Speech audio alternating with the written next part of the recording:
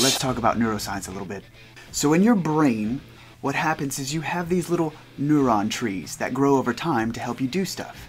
And as that tree grows and grows, what happens is it starts to become a habit. If you continue in that behavior, it becomes an addiction. Starve the tree. What does that look like in reality? Well, we're gonna need an example.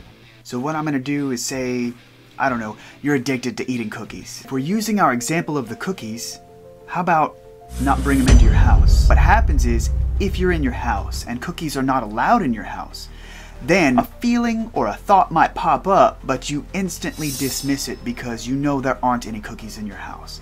It's these kinds of things that you want to do to starve that thing of attention. And so you'll have to think up your own creative ways, whatever your issue is, but that's the key. Starve that attention.